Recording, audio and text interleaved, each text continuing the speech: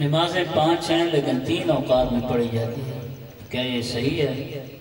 तीन औकात में नहीं पढ़ी जाती पाँच औकात में ही पढ़ी जाती हैं। फ़कत ये फ़र्क है कि इकट्ठी पढ़ी जाती हैं। जोहर असर इकट्ठी पढ़ी जाती हैं, मगरब शक इकट्ठी पढ़ी जाती हैं।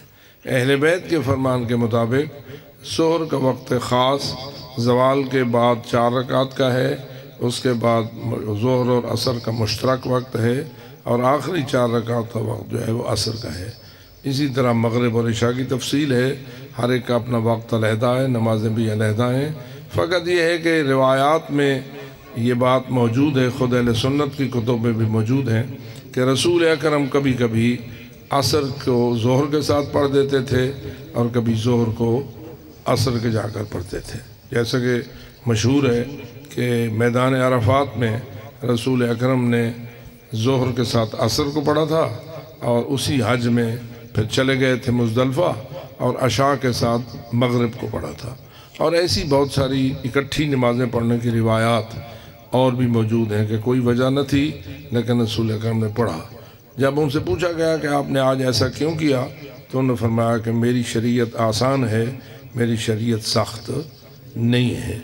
तो ये आप ख़ुद ही फैसला कर सकते हैं, सवाब ज़्यादा हासिल करना चाहते हैं या दुकान ज़्यादा चलाना चाहते हैं? सवाल यह है कि भला क्या खुम्स किसी मुजतहद या उनके वकील नुमाइंदा से रबता किए बगैर खुद किसी को दे सकता है?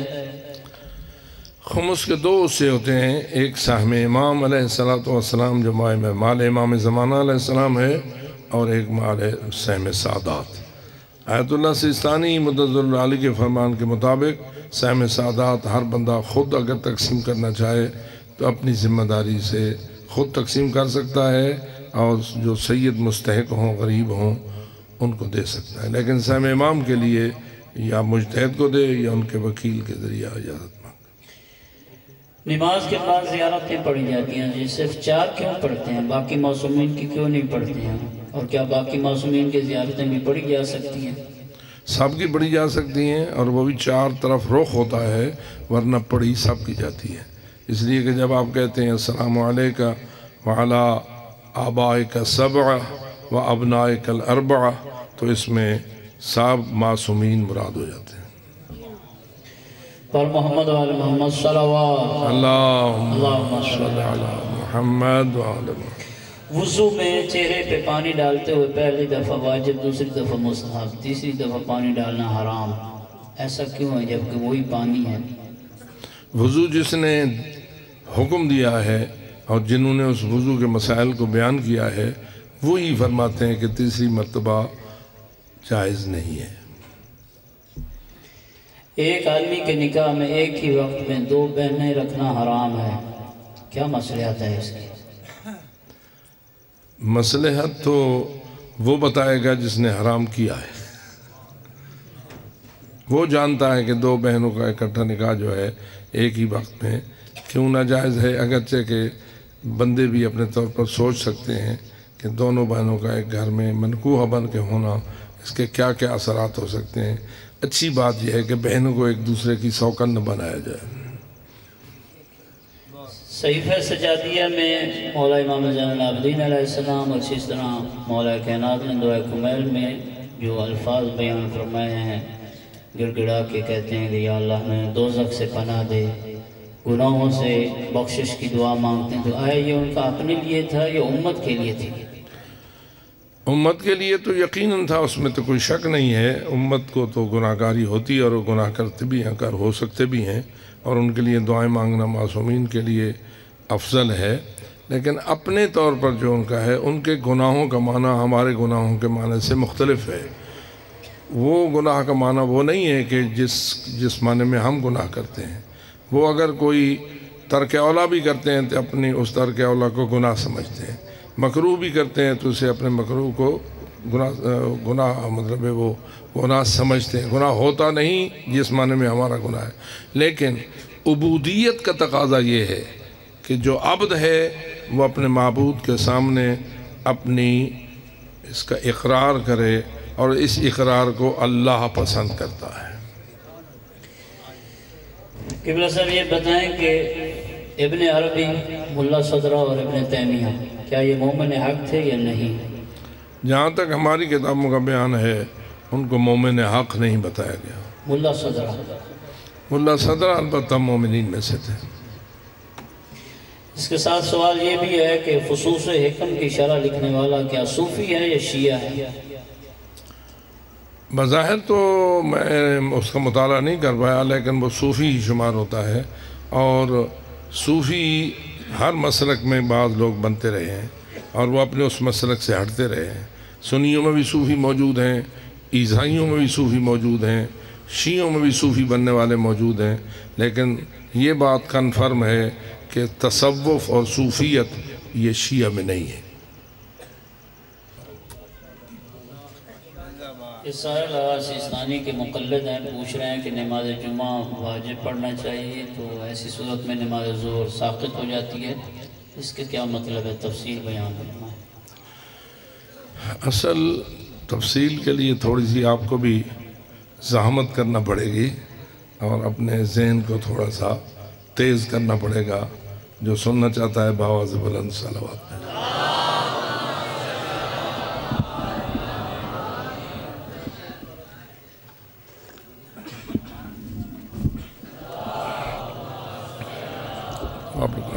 आपने बोला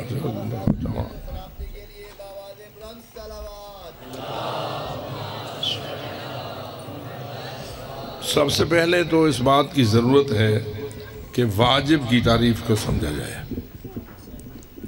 वाजिब क्या होता है? आम तौर पर जो बच्चों को भी तारीफ़ें सिखाई जाती हैं, दीनियात इस्लामियात में या किसी भी किताब में तो वाजिब होता है जिसके करने से सवाब हो और जिसके न करने से गुनाह हो, गुनाह यानी अजाब हो।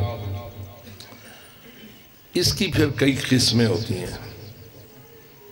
वाजिब की कई किस्में बनती हैं। एक होता है वाजिब ऐनी, और मज़ीद किस्में बयान नहीं करूँगा, जो मौजू से मरबूत है, वो अर्ज़ करूँगा। एक वाजिब ऐनी होता है, एक वाजिब तखजीरी होता है।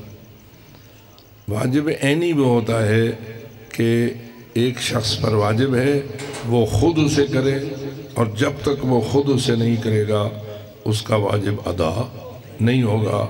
जैसे कि आप रोज़ाना नमाज़ पंजगाना पढ़ते हैं आप क्या कह सकते हैं अपने नौकर को वाजा मेरी ज़ोर पड़ी आ। तू मेरा नौकर है? लिहाजा आज की पाँच नमाजें मेरी तरफ़ से तूने पढ़नी है। हो जाएगी। क्यों? इसलिए कि वह नमाज़ नमाज़ वाजिब ऐनी है और जिस पर वाजिब है, उसे खुद अदा करनी चाहिए।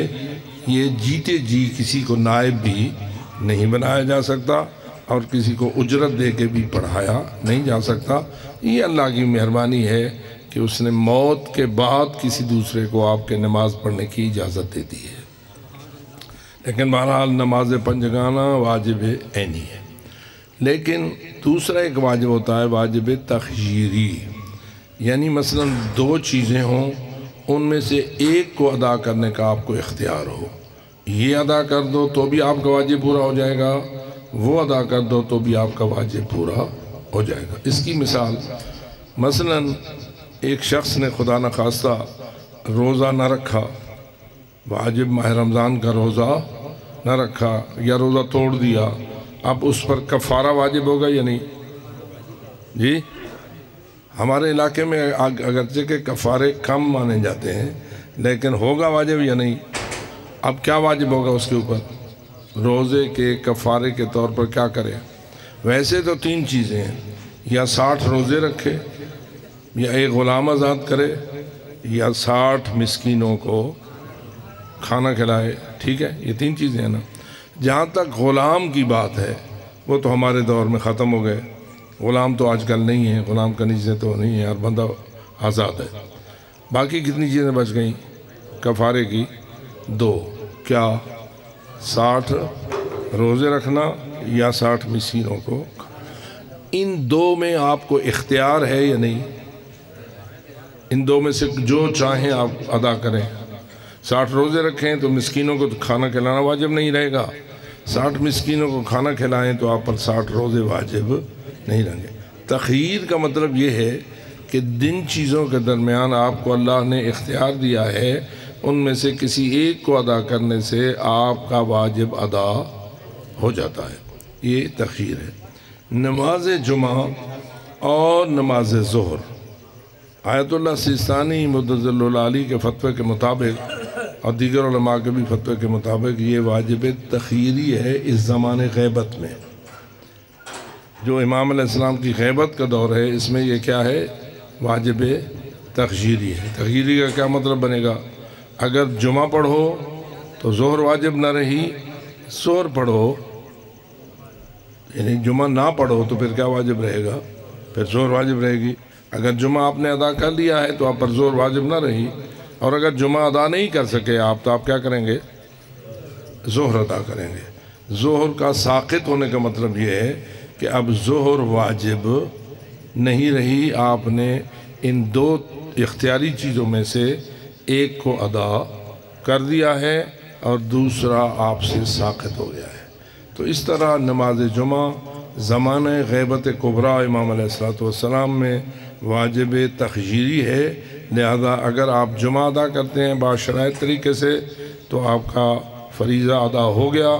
अब जोहर आप पर वाजिब नहीं रही, क्योंकि इख्तियार किस किसमें था? जुमा और नमाज़ जोहर में।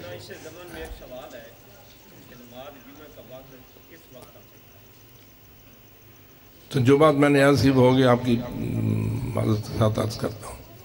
अब आ गया सवाल नमाज़ जुमा के वक्त का। ये तो वाज है कि नमाज़ जुमा का वक्त जुमे के दिन के जवाल आफ्ताब से शुरू होता है। ठीक है? नमाज़ ज़ोहर का वक्त कब शुरू होता है? नमाज़ जहर का वक्त कब शुरू होता है? जवाल के साथ। तो जुमे का वक्त भी वही है। शुरू तो होता है वो जवाल से। अब वो वक्त ख़त्म कब होता है? उसका भी एक सवाल हो गया ना कि वो कब ख़त्म होता है। इसमें मराज इज़ाम का आपस में कुछ इख्तलाफ है। जहाँ तक हज़रत आयतुल्लाज़मा सीस्तानी का फरमान है, वो ये फरमाते हैं कि आप जब से जवाल हुआ है, उस वक्त से लेकर चालीस मिनट तक आप जुमा पढ़ सकते हैं। लिहाजा अगर आपने 40 मिनट के अंदर जुमा अदा कर लिया है तो आपका वाजिब अदा हो चुका है और आप पर जोहर वाजिब नहीं रही। लेकिन अगर आप 40 मिनट से लेट कर देते हैं और आपका जुमा जवाल से 40 मिनट के अंदर अदा नहीं हुआ तो आयतुल्ला सिस्तानी कहते हैं, फिर आपका वाजिब अदा नहीं हुआ। वाजिब अदा नहीं हुआ, यानी आपने वाजिब को अपने सही वक्त पे अंजाम नहीं दिया। अब आप जुमा पढ़ेंगे इसके बाद, यानी 40 मिनट के बाद तो आप क़ुरबता की नीयत से जुमा तो पढ़ सकते हैं, लेकिन जोहर वाजिब रहेगी, क्योंकि आपको दो में से एक का इख्तियार था, एक जुमा था और दूसरा जोहर थी। जुमा अगर अपने वक्त के अंदर अदा हो तो तो आपका दूसरा जो है वाजिब था, यानी जो तखीर देते हुए दूसरी चीज़ थी, वो ज़ोर थी। वो ज़ोहर आपको अदा करना ज़रूरी नहीं है, क्योंकि आपने एक वाजिब का एक हिस्सा अदा कर दिया है। हाँ अगर आपको देर हो गई है और आप जुमा अपने वक्त के अंदर अदा नहीं कर सके तो फिर आखिर आपने जोहर अदा करनी है। इसलिए कि आपने जोहर की नमाज़ तो पढ़नी ही है ना? अगर जुमा उसकी जगह नहीं बन सका तो आपका ज़ोर सार पे खड़ी है। लिहाजा ज़ोर को पीजिए ज़ोर का वक्त कब तक है? नमाज़ जोहर जो होती है, आप उसका आखिरी वक्त कौन सा मानते हैं? तो जो रही है? आखिर अख्ताम को भी तो सामने रखना होता है ना। आगाज़ तो हो गया जबाल से। अख्ताम कब तक है? तो ये बात वाज मुतफ़ है कि जोहर का वक्त का अख्ताम सूरज के गुरूब से चार रकात नमाज़ का रहता हो, उस वक्त तक आपकी ज़ोर हो सकती है। अगर सूरज के गुरूब होने से चार रकात का टाइम बचता हो, इससे ज़्यादा न बचता हो तो आपकी ज़ोर कज़ा हो चुकी है। अब आपको असर पड़ना चाहिए। ठीक है? तो मालूम हुआ कि जोहर का वक्त वसी है, जुमे का वक्त वसी नहीं है। जुमे का वक्त कितना है तो लसीस्तानी की निगाह में?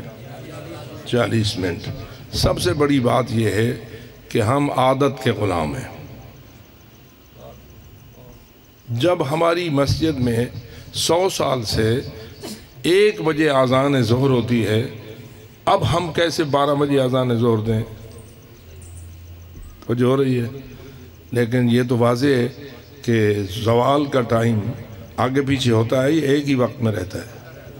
जैसे तुलु फजर आगे पीछे होती है, गुरूब आफ्ताब आगे पीछे होता है मौसम के लिहाज से, ऐसे ही जवाल भी मौसम के लिहाज से आगे पीछे होता है। समझदार लोग जानते हैं कि जवाल का टाइम 12 बजे से पहले भी, दो तीन मिनट पहले भी कभी हो जाता है। मौसम के लिहाज से कभी 12 मिनट से पहले भी हो जाता है। अब 12 बजे भी अगर जवाल का टाइम हो और आप आज़ान दें एक बजे। तो एक घंटा आपने ज़ाय किया या नहीं? जी, ज़ाय किया। जुमे का दिन हो, एक घंटा आप हुक्का पिए और एक बजे आज़ान दें और फिर जाके जुमा पढ़ें। पता नहीं आप क्या पढ़ रहे हैं। तो जो रही है। इसलिए सबसे बड़ी कंट्रोल की चीज़ ये है कि आज़ान अपने बुनियादी वक्त पे होनी चाहिए। जवाल के वक्त से जब नमाज़ ज़ोर का वक्त, या जुमे का वक्त शुरू होता है तो अजान कब होनी चाहिए? शुरू शुरू से होनी चाहिए ना। अजान जब वक्त हो गया तो अजान होनी चाहिए। यानी अगर बारह बजे जवाल हो रहा है तो आपकी अजान भी बारह बजे होनी चाहिए। बारह बजे अजान हो, फिर उसके बाद एक घंटा और देर क्यों करते हैं आप? आधा घंटा देर क्यों करते हैं आप? ये आपने मजबूर कर दिया है अपने पेश नमाजों को। हमारा ख्याल कीजिए, अल्लाह के हुक्म का ख्याल न कीजिए। लेकिन क्या ये जायज़ है कि एक पेश नमाज़ आवाम की राय को अहमियत दे और आवाम के फतवे पे चले? अपनी असलाह फरमाइए और एन जवाल पर कम अज़ कम जुमे के दिन तो ज़रूर आज़ान की आदत डालिए। जब जुमे के जवाल पर आप आज़ान देंगे तो आपका जुमा भी सही वक्त में हो जाएगा। और अगर आपने जुमे का एक वक्त मुन कर हुआ है खा जवाल बारह बजे हो खा साढ़े बारह बजे हो, असा तो एक बजे अजान देनी है। ये गलती अपनी इसलाह कीजिए और इस तरह इन आपकी दिक्कत ख़त्म हो जाएगी।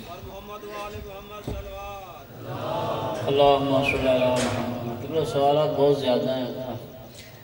मेहरबानी किबला ये बताएँ कि क़ायद मिलत जाफरिया साजिद नकवी नुमाइंदे वली फ़की हैं। क्या उनका हुक्म मानना मिलत तशैय पर कितना ज़रूरी है? और अगर कैद मिलत कोई हुक्म सादर फरमाते हैं तो क्या वो हुक्म हुक्म वली फ़की होगा?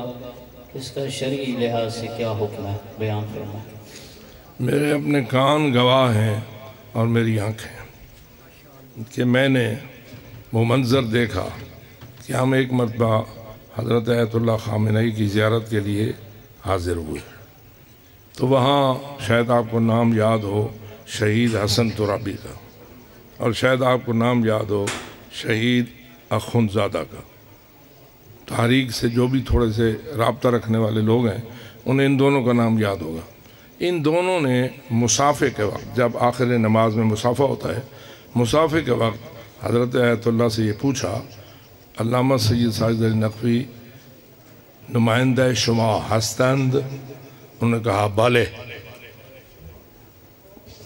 तीन चार बंदों के बाद एक दूसरे हमारे साथी का मुसाफे का टाइम आया। उन्होंने पूछ लिया, फलान मौलाना साजिद अली नकवी आपके नुमाइंदा हैं?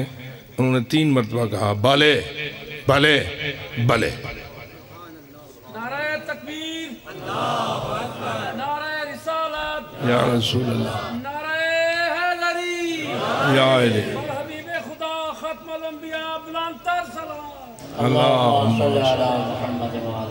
तो उनके नुमाइंदे वली फ़कीर होने में अभी तक की किसी को शक है?